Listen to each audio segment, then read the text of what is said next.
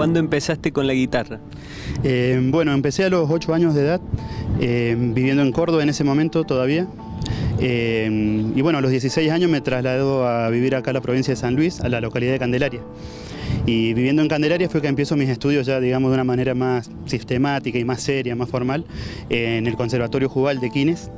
Bueno, ahí estudié unos años, después me vine a vivir acá a la, capital de San Luis. Siempre el folclore es lo que, lo que me ha movido y lo que pasa es que cuando descubrí la técnica clásica para tocar la guitarra fue otra cosa, ¿no? me, llegó de otra manera, entonces hoy en día trato siempre de que mi repertorio sea lo más variado posible en cuanto a estilos, pero siempre desde la técnica clásica. ¿Has estado en otros países también? Sí, en el 2014, 2015 presenté en San Juan, en la ciudad de San Juan, un ciclo que se llamaba Miniaturas Latinoamericanas, que consistía en, interpretar obras de, compositores de Latinoamérica, obras originales para guitarra.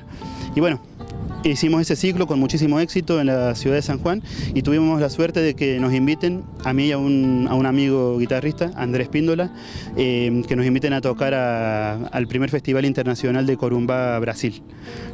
Entonces, aprovechando ese viaje fue que hicimos también presentaciones en la ciudad de Asunción, Paraguay, y varias ciudades del sur de Brasil, así que fue una experiencia hermosa. Eh, además de haber haber ido a tocar allá en el, Festival Internacional de Corumba, fui a dar clases también. Así que fue una experiencia hermosa la de haber, haberle dado clases a gente que hablaba otro idioma, eh, siendo que yo no domino el portugués para nada. Eh, y bueno, entonces tuve que ahí pilotearla, y, pero bueno, fue una cosa muy linda la verdad. ¿Tenés como proyecto dar clases acá en San Luis también? Bueno, eh, desde el, a principios del 2016 que, me vine que, volví a vivir a San Luis, eh, empecé a dar clases en la Casa de las Culturas, un taller que está especializado en la guitarra clásica. Y bueno, está muy bueno porque la docencia es algo que, que te llega de otra manera, ¿no? De, o sea, es muy diferente a la experiencia de estar en un escenario dando un concierto, pero absolutamente distinta y absolutamente linda. Eh, eh, creo, que, creo que un artista siempre debe transmitir sus conocimientos, lo que sabe, así que la docencia es algo que siempre me, me inspira mucho. ¿Te gustaría grabar? Grabar sí, me encantaría.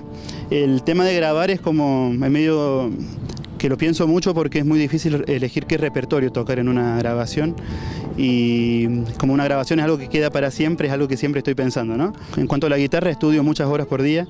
Eh, pero sentarme a estudiar la guitarra es una cosa que si yo no estudio por un día es como una necesidad que tengo, ¿no?